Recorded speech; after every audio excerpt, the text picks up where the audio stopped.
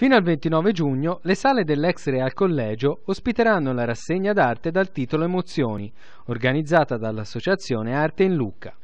Una collettiva di pittura, scultura e fotografia che mette in mostra le opere di numerosi artisti nella suggestiva cornice delle sale e dei corridoi dell'antico convento pitture, sculture, ceramiche ed installazioni realizzate dai membri del collettivo e dai temi più disparati accompagnano il visitatore attraverso un percorso dagli stili più diversi.